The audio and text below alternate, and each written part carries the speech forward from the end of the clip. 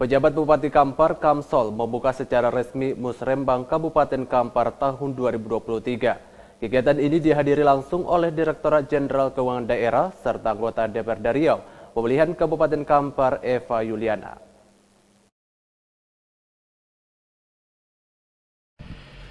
Musawarah Perencanaan Pembangunan atau Musrenbang Kabupaten Kampar tahun 2023 dalam penyusunan APBD tahun anggaran 2024 Jumat siang resmi dibuka penjabat Bupati Kampar.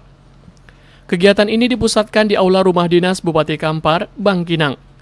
Dalam kegiatan ini juga dilakukan penandatanganan berita acara Musrenbang yang disaksikan oleh penjabat Bupati Kampar, Kamsol, bersama dengan perwakilan tamu undangan, di antaranya anggota DPRD Kampar dari fraksi Demokrat pemilihan Kabupaten Kampar Eva Yuliana dan perwakilan Bapeda Provinsi Riau.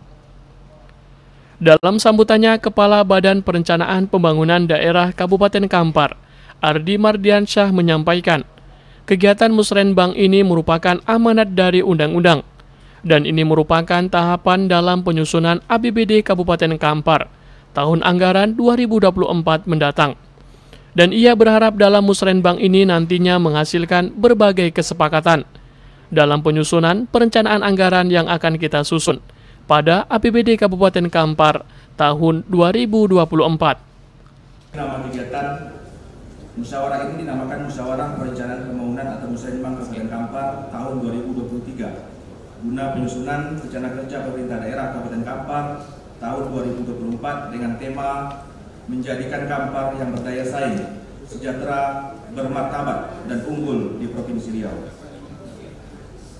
D. Penyelenggaraan satu, rangkaian penyelenggaraan musrenbang dimulai dari musrenbang kecamatan pada tanggal 20 sampai dengan 24 Februari 2023 yang dilanjutkan dengan forum perangkat daerah pada tanggal 1 sampai dengan 3 Maret 2023 dan dilanjutkan dengan pelaksanaan pramusrenbang kabupaten pada tanggal 8 sampai dengan 10 Maret 2023 dan musrenbang kabupaten pada hari ini dilaksanakan pada tanggal 16 Maret 2023 penyelenggaraan musrembang Kabupaten Kampar tahun 2023 ini yang nantinya akan dibuka oleh Bupati Kampar dan dilanjutkan dengan pelaksanaan sidang pleno atau ekspos yang disampaikan oleh narasumber kita yang sudah hadir dari Kementerian Dalam Negeri dan dari Bapak Dalipang Provinsi Riau.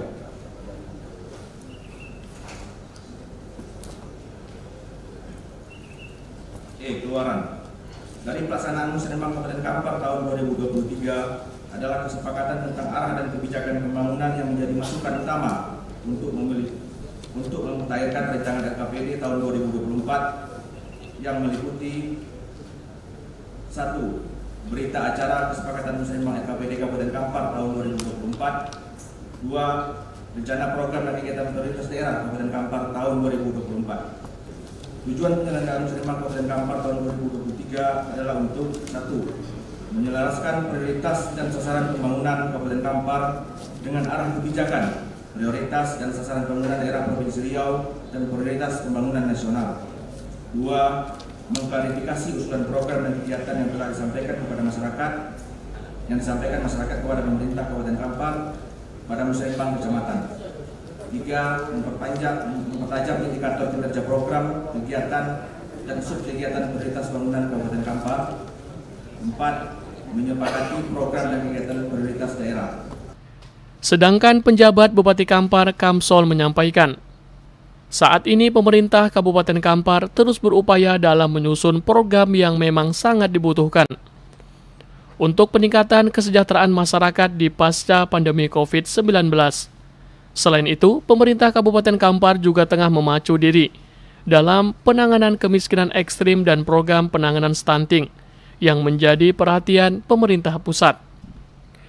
Oleh karena itu, ia berharap pada musrenbang ini dilaksanakan bukan hanya sekedar seremonial saja, tapi memang dilakukan pembahasan yang mendalam untuk menghasilkan penyusunan anggaran APBD Kabupaten Kampar tahun 2024 mendatang yang sesuai dengan kebutuhan dan harapan masyarakat Kabupaten Kampar. Alhamdulillah puji syukur kita kehadiran Allah Subhanahu wa taala hari ini dapat menyelenggarakan musyawarah rencana pembangunan Musrembang Kabupaten Kampar ke tahun 2023.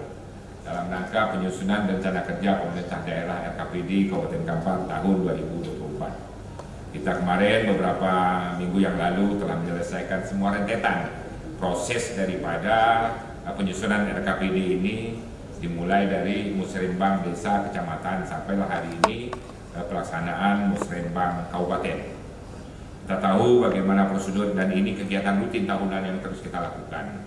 Jadi kegiatan ini bukan hanya kegiatan seremonial, tapi betul-betul kegiatan yang kita harapkan dapat mencari indikator-indikator kinerja dalam rangka bagaimana dalam meningkatkan kapasitas pemerintahan yang tak lepas kepada masing-masing OPD yang memiliki indikator kinerja utamanya. Setelah itu dijabarkan menjadi indikator kinerja kunci, karena ini menjadi penilaian seluruh daerah oleh Presiden. Jadi tidak lagi oleh Kemendagri, oleh Presiden, dan di bawah beberapa tim kementerian dan LPPD itu tidak lagi dulu semacam laporan sebagai buku biasa saja, tapi itu sudah harus diisi melalui ELPPD. Jadi sangat jelas penilaian yang kita dapatkan. Nah, kenapa LPPD bisa rendah? Karena perencanaannya tidak baik. Itu kuncinya. Kenapa indikatornya tidak tercapai? Karena perencanaannya yang tidak sesuai untuk mencapai indikator itu sendiri. Jadi kita bekerja dengan indikator. Indikator besar pembangunan itu cuma satu sebenarnya IPM atau Human Development Index. Pertama, angka harapan hidup. Kedua, angka pendidikan. Pendidikan itu ada dua, rata-rata lama sekolah dan harapan lama sekolah. Keempat, tiga, yang keempat, empat indikator ekonomi.